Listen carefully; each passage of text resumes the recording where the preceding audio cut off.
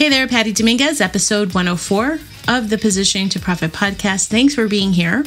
Today is a solo show, and on this show, I am going to be talking about how to remove the clutter in your business. And it's not necessarily about these specific line items or the the tactical stuff. This is going into the mindset part of it because I have to tell you this is a topic that's come up a couple of times between this week and last week. So I'm like, okay, this warrants a convo specifically about what's causing this overwhelm and making sure that we are keeping on track or removing those elements that is creating all of this confusion. There's so much confusion out there. So that's the topic of this episode. Now, if you haven't already done so, head on over to nicheandpitch.com. You can spell it either way. So some people will spell it N I C H E and pitch.com, which is the correct way. But if you don't know and you're like, how do you spell it again? Just spell it N I T C H and pitch.com and you're going to get to the same page. The niche and pitch is going to give you couple of free training videos that gives you the introduction on how to demystify your positioning in your business. If you've ever felt like your message is not hitting the mark, then this is perfect for you. And so this is going to be talking about positioning, which is my jam and it's my specialty. So I'd love you to get immediate access. And all you have to do is head on over to nicheandpitch.com. And with that, let us get on with the show to let go of that overwhelm and clutter. Ready? All right, here we go. Hey there, I'm Patty Dominguez. You're about to discover what it means to position your brand and your business to stand out. This show explores the stories of small business owners just like you who are bringing their message out to the world and impacting their tribe. So if you want to take your business to a category of one status, then hang with me because this podcast shares everything you need to know about how to be more prolific with your brand so that you can have more profits. All right. Thanks for joining me on the episode. Whether I'm catching you on the treadmill, maybe you're up for a walk, maybe you're playing me in the car. And thank you. That is first and foremost. I love when I hear back from people that have listened to the podcast and say, I really enjoyed this episode. So, just as a request, if you do enjoy the episode, I love to get the, the word from you. And if you feel inclined to leave a rating and review, uh, that would just make my day. And I will give you a shout out on the show as well. Okay, so with that, today is talking about letting go of overwhelm because this is, again, something that's come up. And I'm going to give you an example as to what it means. Is how many times do we feel compelled to join a specific group. It could be a membership, it could be a course. And I can tell you, it is so alluring. Uh, it is so intriguing, curious, open loops, persuasive, whatever it is that you are confronted with, especially in the online marketing world. I can tell you, I, for one, once upon a time had a major case of courseritis. Courseritis meaning I would just buy the next product because I was really interested and I thought, well, maybe this is the secret. And for me personally it was a whole host of things is i was really lacking the belief in myself i was lacking the trust and really looking inwards on the intuition side and knowing that I did have the ability to create a business. I did have the ability to succeed in business. I was just not believing in myself. And that was creating a whole lot of overwhelm for me. And in the process, I was swindled out of money where people were promising these grand things and they didn't deliver. And when I worked on all that stuff with my dear mentor, Jim Fortin, those were my decisions, those were my choices, and really taking on personal responsibility to recognize that I created that situation. And looking back, I really recognize that I was creating the overwhelm. I was choosing to participate in that. Now, it's easy to say, okay, got it. So I have to be careful about the choices I make. Well, what if you know better, but then you're still feeling overwhelmed or uncertain?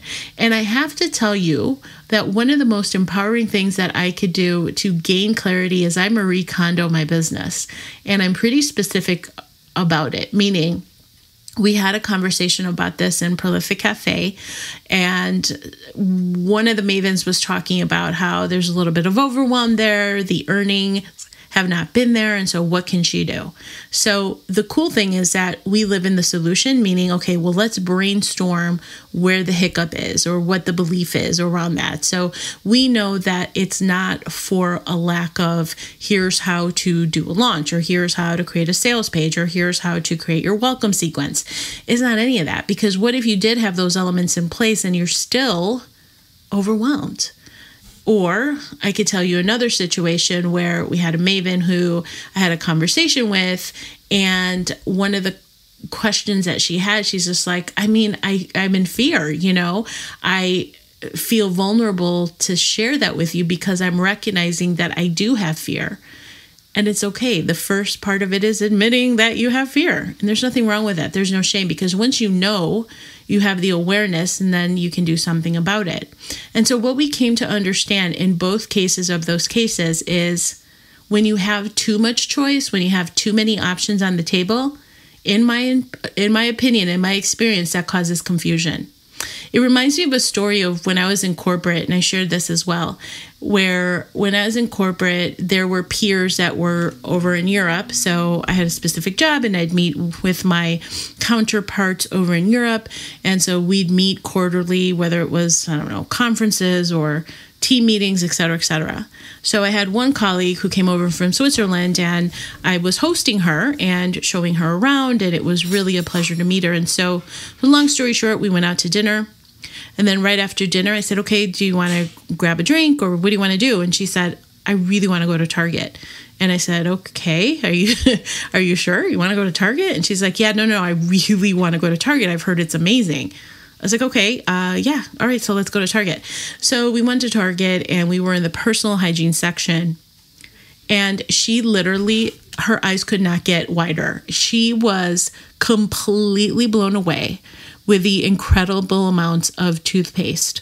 She's like, how is it that this entire wall, sh- this shelf wall is full of all these options of toothpaste? She's like, how do you decide? And she's like, I don't even know where to start, you know? And I said, Oh my gosh, that's so funny. And I said, Well, how many options for toothpaste do you guys have in Switzerland? And she's like, Well, my personal shop, we have two options. She's like, That's all you really need. And I laughed. I was like, oh my gosh. And she's like, it's so decadent. It's so decadent to have all these choices. But she said, what's really causing me is like, I'm confused. So this is a story about toothpaste. No, it is a story about when you have too many choices, it can create overwhelm.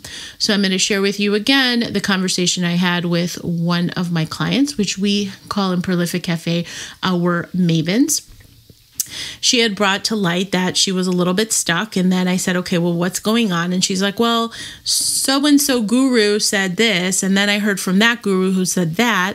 And then in the conversation, where as I was like mining for information, you can get to the root of where the the hiccups are, or where the bottlenecks are in the thinking.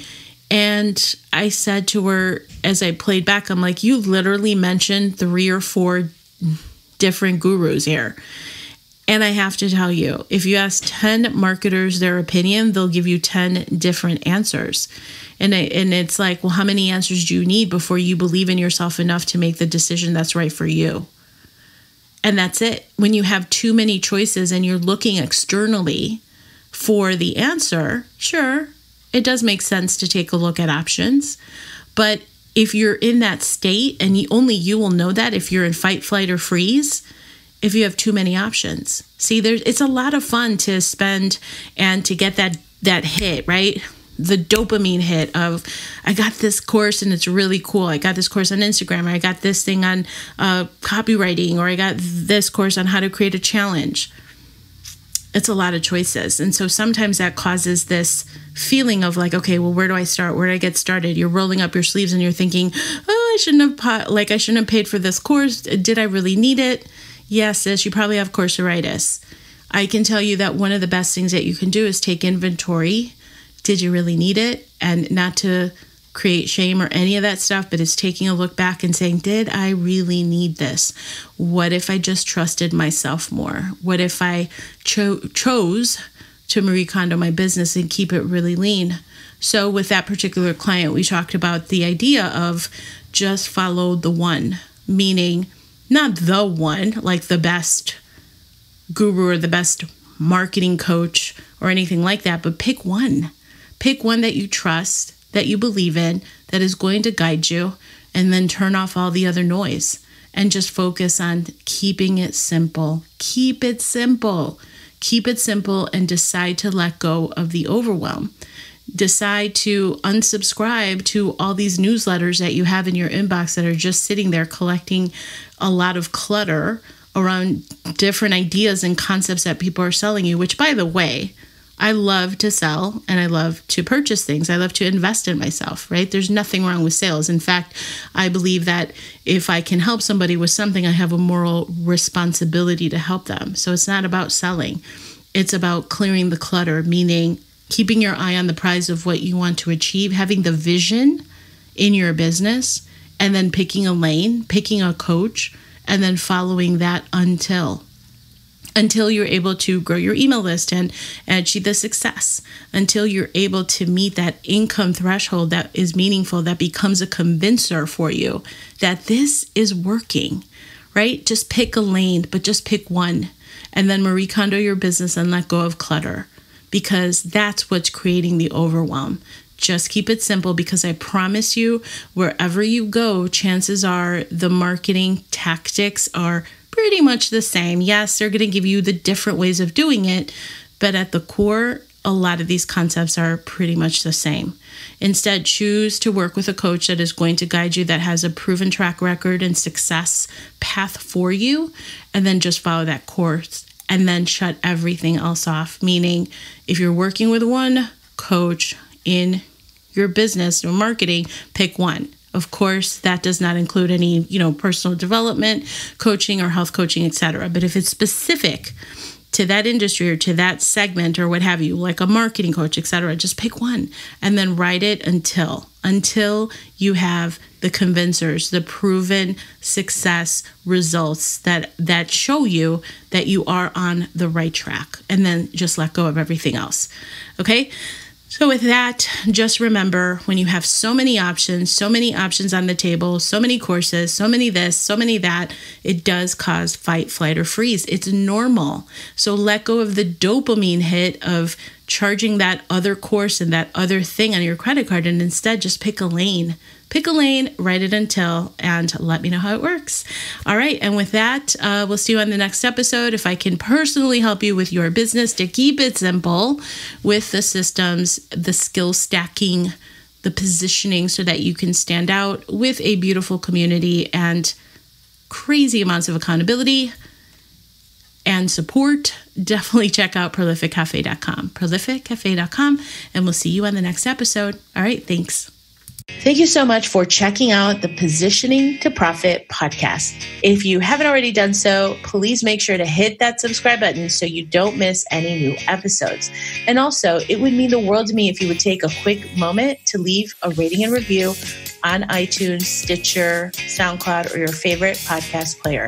It really helps to get the word out about the podcast and, of course, the featured guests.